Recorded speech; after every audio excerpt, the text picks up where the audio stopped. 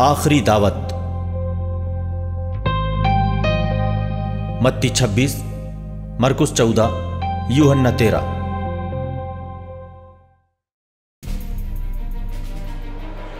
अखमीरी रोटी के पहले दिन शागिर्द यसू के पास आकर बोले, आप क्या चाहते हैं? हम आपके लिए कहाँ फंसा के खाने की तैयारी करें? यसू ने जवाब दिया, शहर में फलां के पास जाओ और उससे कहो उस्ताद कहते हैं, मेरा वक्त करीब आ गया है।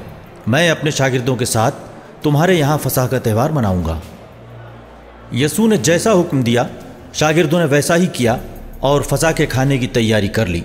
शाम होने पर यसू अपने बारह शागिर्दों के साथ खाना खाने बैठे। उन्होंने भोजन पर से उठकर अपना लिबास उतारा और कमर में रूमाल बाँध लिया। तब वो बर्तन में पानी भरकर अपने शागिर्दों के पैर धोने लगे और कमर के रुमाल से उन्हें पहुँचने लगे।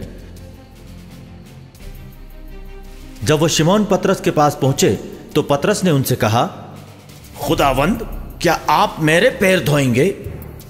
यसू ने जवाब दिया, तुम अभी नहीं समझते कि मैं क्या कर रहा हूँ। बाद में समझोगे। पतरस ने कहा, मैं आपको अपने पैर कभी नहीं धोने दूँगा। यसू ने उससे कहा अगर मैं तुम्हारे पैर नहीं धोऊँगा तो तुम्हारा मेरे साथ कोई ताल्लुक नहीं रह जाएगा। इस पर शिमोन पतरस ने उनसे कहा, खुदावंद तो मेरे पैर ही नहीं, मेरे हाथ और सर भी धोइए। यसू ने जवाब दिया, जो गुस्ल कर चुका है, उसे पैरों के सिवा कुछ और धोने की ज़रूरत नहीं है। वो मुकम्मल तरह से पाक है।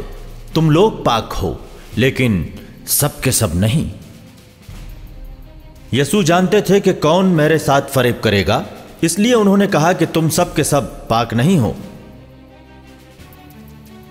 उनके पैर धोने के बाद वो अपने कपड़े पहनकर फिर बैठ गए और उनसे बोले, क्या तुम लोग समझते हो कि मैंने तुम्हारे साथ क्या किया? तुम मुझे उस्ताद और खुदावंद कहते हो और ठीक ही कहते हो, क्योंकि मैं वही हूँ। इसलिए अगर मैंने, यानी तुम्हारे खुदावंद और उस्ताद ने तुम्हारे पैर धोए हैं तो तुम्हें भी एक दूसरे के पैर धोना चाहिए।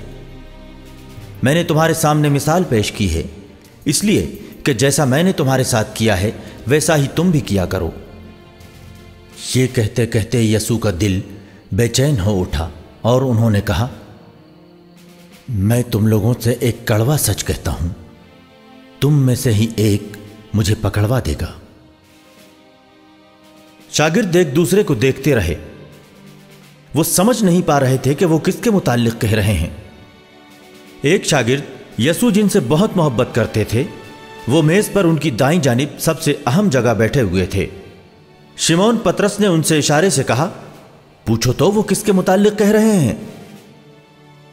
तब उस शागिर्द ने यसु जिससे बहुत मोहब्बत करते थे, उनकी तरफ़ झुककर उनसे पूछा, खुदावंद, वो कौन है? यसू ने जवाब दिया, वही, मैं जिसे रोटी का टुकड़ा डुबो कर दूँगा, वो वही है।